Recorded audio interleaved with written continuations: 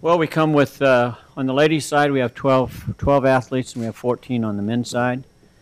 Um, We, um, we had a good conference championship. We've qualified well here. We're, we've, uh, we're, we're pleased. We're, we're relatively healthy.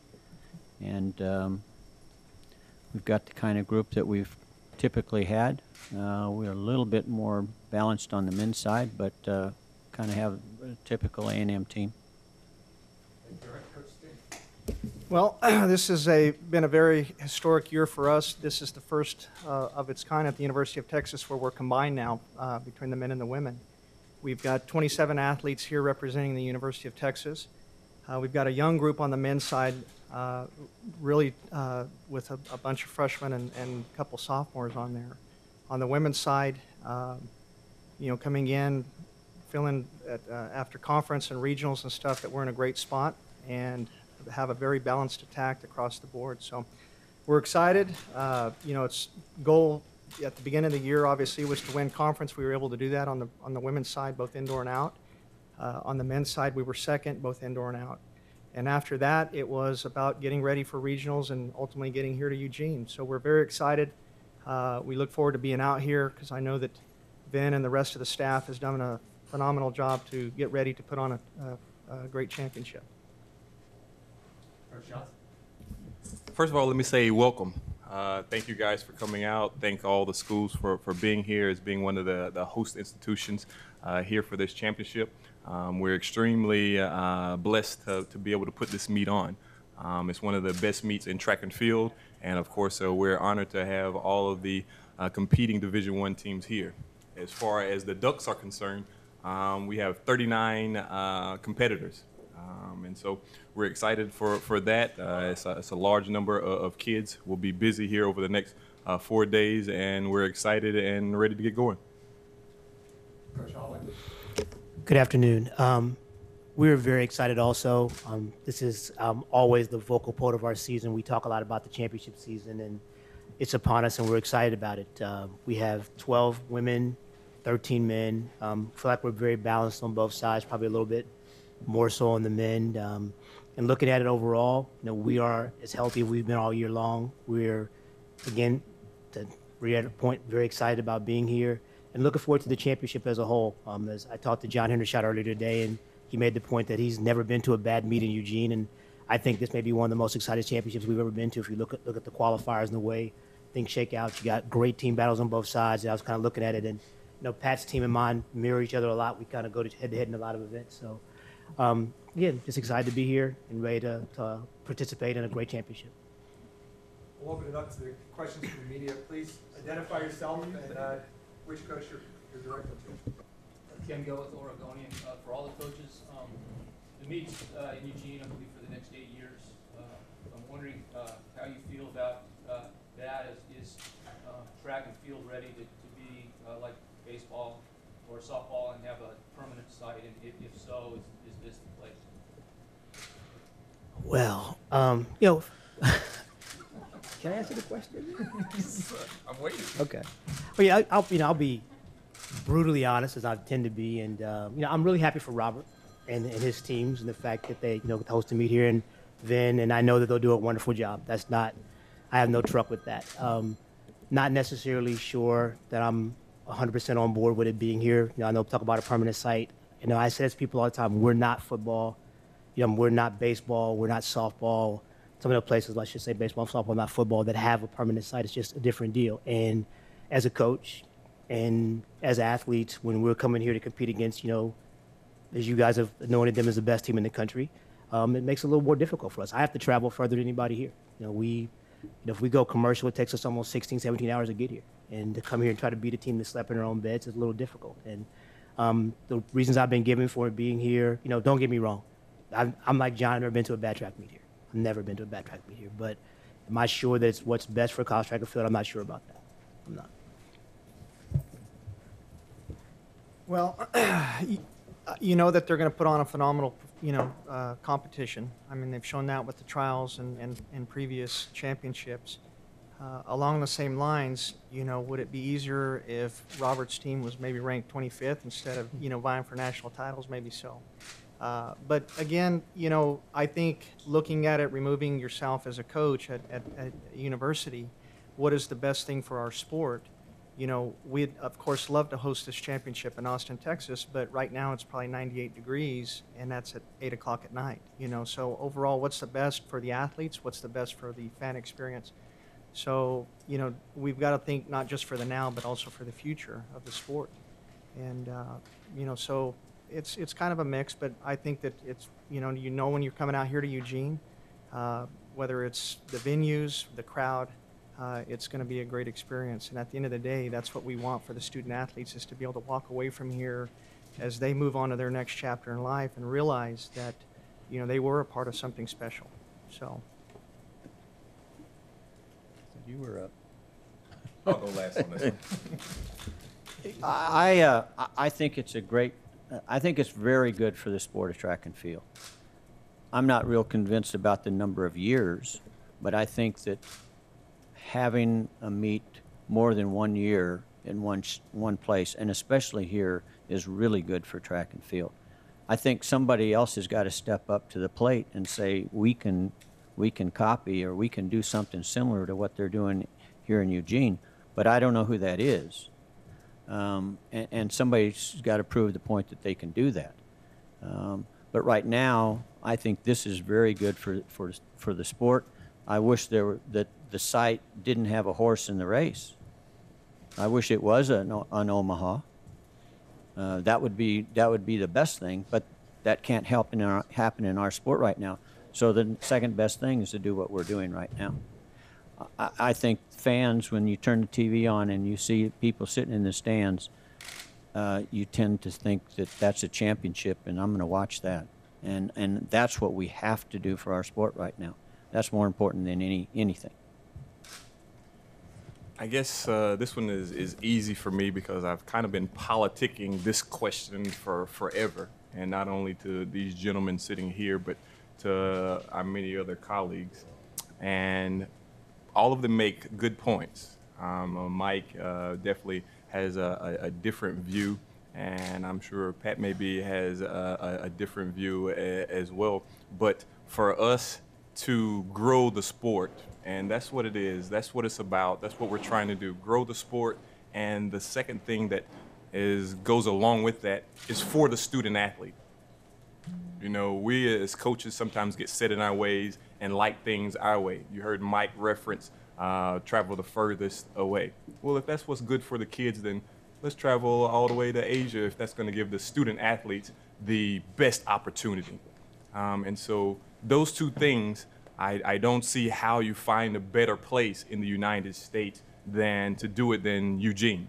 Um, now, having said that, Pat makes a good argument and says that if you don't want it here, somebody step up to the plate and do it better. Be more than happy to to go somewhere and have an experience like this. Because once again it's for the student athlete and for the student athlete to travel around different parts of the country and the world to, to see would be awesome. But until then you know you can't get any better than, than eugene oregon. Um, I, I love the i love the things that uh, the kids get here. For example we're here this morning and i'm in uh, IHOP for our IHOP their international house of pancakes and there's a group of cancer survivors. They take a trip every year uh, there, and they were just happened to be sitting there. And they didn't know me from a can of paint. They thought I was with Kentucky because I was sitting with some of the, the coaches and kids from Kentucky. And they came up and said, Hey, hope you guys really enjoy your experience here. Track is really big here, and we, we love your, your, being here, and the fans are, are really knowledgeable. And they hit it out of the park. They didn't know I was Robert Johnson, uh, the coach at, at Oregon, and they did a phenomenal job in making the kids feel welcome. And I would challenge other places uh, to be able to rival that. So that's what makes Eugene special. That's what makes Oregon special, and that's what the NCAA chose to put the championship here for for eight years. And we're blessed and thankful for it. I think there is one other issue that, and, and it is great for the athletes. It's a $900 plane ticket from Houston. That's tough on parents. That's tough on fans from around the country too. So there, there are some thing, there are some issues that need to be addressed, and it may be NCAA issues that need to be addressed along those lines. Um, but um, this is a tremendous venue for the athlete, there's no question. And, and I, I just want to you know, agree with Pat. I mean, I, I don't, I don't want to be viewed as a Grinch that stole Christmas. Okay, um, I think Eugene is a wonderful place, and uh, like I said earlier, been to some great competitions here. We had some great success here. But as Robert said, if the best place for the meet is to be in Asia, let's put it in Asia. But let's everybody have to travel the same distance to get to Asia, because it's a little bit different. Because having it here because it's the best place for the student athlete, when it's a little bit difficult for more people to get it than others, that's that's not the best. That was best for the sport, from my standpoint. So, but so everybody understands, I think Eugene does a wonderful job putting on track and field. And, and Mario said it might be 95 in Austin, which it might be, and everybody thinks that's a negative. We've run pretty fast in Austin when it's 95 fast in degrees. Austin. It doesn't make any difference. You put Um, the best kids in the country on the track in Asia uh, on asphalt, they're going to run fast. Yeah. And, and we spend another thousand dollars on Allegra D. we get here too, so there are other issues too. Well, as you guys can see, once you you, ask Robert. these uh, opinions, you're going to get a, a, uh variety of, of answers. But at the end of the day, if you keep those things in mind, I think the NCAA is doing a, a phenomenal job in when they're awarding the, the Ducks the, uh, the championship.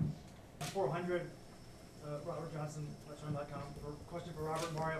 One of the biggest matchups is sort of the individual 400 women's between Phyllis and Courtney. Who do you guys, you know, you got the American indoor record holder versus the collegiate record holder outdoors. Who do you guys see as the favorite, and do you feel like your athlete is sort of one to beat? I guess you probably left out one with the defending champion uh, as well. Um, so there's there's three ladies there that all have some accolades and credentials. Um, you know, I, I like my crew. I, I- I like our, our team. I, I like Phyllis Francis um, that's there in the in the quarter mile. Um, we have a, a healthy respect for all of the competitors there, but um, the ones you mentioned are definitely super super talented, and uh, it'll be interesting to see how it all plays out in the end. I agree, you know, with Robert in a sense. There's there's some not just the the Texas Oregon matchup. I mean, you know, Pat's got some phenomenal girls as as well as you know Mike. So, you know, it's going to be a marquee event. But again, there's going to be a lot that happens, you know, throughout the course of the week. To you know, by the time they get to that final and stuff. So, I think at that point, you know, it's not so much about time. You know, they're going to run something fast. I know that Phyllis being in front of the home crowd, that's that's probably worth at least a half a second in my book. But uh, but it, it's going to be great. I, I you know, as a track fan, you know, sometimes you just have to sit back in the stands and, and take everything in. So, uh, but it's definitely going to be a, a great event to watch this week. Can you kind of just assess the readiness of both of your teams heading into tomorrow and how comfortable you feel with where everybody's at? Um, uh, of course, um, everybody knows we had a, a few dings coming into the, the championship, um, and one of the ones that we were really counting on. Um, but as far as the everybody is, is healthy, that's um, competing. Um, we I think we're rounding into into shape, just like uh, Coach Holloway mentioned, and it's, it's one of those things to where we changed up and we did some things different during the uh, the outdoor season for this moment. Um, and I, I think that so far it's gone well to have 39 kids um, competing and, and make the meet. Definitely shows that we're trending in the right direction. and so uh, it's one of those things to where I almost wish this thing was uh, on Monday. You know, as kids for Christmas, you wake up and it's not time yet. You wake up, it's not time yet. You wake up, it's not time yet. So we're kind of ready to pull the bow and uh, let everything out of the uh, box. By Monday, you mean yesterday? Yes. Can I follow Yep. up on that? You've had to make some changes to your four by one. Mm-hmm. Did you see enough at regional? Feel good about that coming? Um, yeah, it's, it's one of those things where at Pac-12s uh, we were we missed had to to make a quick change and then to be able to come back and and have 10 days to to change up and, and work on some things and be better prepared, um, not having to worry about so much the unknown. Um, and we were able to get it done. They they were they were second there at the Pac-12s and then they won their heat at, at regionals. So not the lineup that we started with, but um, our, our motto has been um, strength in, in, in numbers, and we're able to have the numbers to for somebody to step in and step up. Uh, Jonathan Gold, Let's Uh, my question is for Coach Johnson. Uh, you've got one of the best distance runners out there Edward Cheserek. I was wondering, you know, he's only a freshman, but he ran all across country and then doubled it indoors. Now he's doubling doing the 5K and 10K outdoors. Do you worry about him breaking down, you know, with him being so young? Great question. Um, one of again, uh, one of the things that again you, you heard me say that we changed and done some things, and some of our some of our fans, some of our, our longtime uh, constituents uh, were a little indifferent to those changes, and some of those were not running uh, Edward Cheserek at, home in some of our, our home meets. But um, I think you make a, a great point there. In Edward's running a lot. He ran a lot indoors and doing the three and the five. Um, he had a, a very uh, easy transition to the outdoors. We kind of went back and retooled some things and got his mileage back up after the indoor season. Um, and he's where he should be. Um, 5'10 is a natural double. Everybody that's uh, a distance runner that does those things um, does that a lot. So it's not unexpected. It's not out of character. It's just one of those things where we had to manage what he did leading up into the uh, championship season. Austin Meek with the Register Guard. Robert, Oregon obviously has had so much success in track and field, but when you took over winning an outdoor team title, um, was that a big focus for you and what do you feel like it would take to get the program to that? Uh, it's one of those things to where a little bit of a, a change or a switch in philosophy, a little bit, and focusing on uh, the championships, uh, winning winning trophies. Um, you hear you hear the, these guys talk about the, the the home field advantage and things like that. Well, um, I don't I don't necessarily know if I agree with all of that because I think the numbers are 83 and 84 since the Ducks have won an outdoor championship. So if it's such a home field advantage, what are we doing wrong? Um, so it's one of those things to where we are excited. We definitely have been looking for, at this moment. This is one of the things that's, that's marked on, on on our calendar. We start the championship season and then work backwards, um, with this being the, the focal point and the end game uh, for us. Curtis Anderson, Tracktown USA. This is for all four coaches. Um, I'm going to ask you to put on your promoter's cap and give me one reason why people should come out to this meet or watch it on TV. Now, let me start with you. I'll I start. think- I, I got the problem. Yeah, I, th- go ahead, Mike. Appreciate that, Pat. You're welcome. But uh, no, I, I think you know th- there's several reasons to watch this meet. Um, one, you know, the facilities, the crowd, the the thing that meets the things that meet management do to make sure the athletes have a great experience. Um, I also think that you know I've been to the World Championship, the Olympic Games. You know, there's not a better meet than this one. You know, the the the passion, the pride that you know every coach and every program and every athlete puts into this is just phenomenal. And just being back in the warm-up area, just being I was out on the track yesterday and today, and just watching the seriousness and the attention to detail that everybody that gets here puts into this, it's phenomenal. So, as a, if you're a true track and field fan or just a novice fan, if you want to get the, the fever, so to speak, about being a track and field fan, this is the place to come watch it. Best meet in America.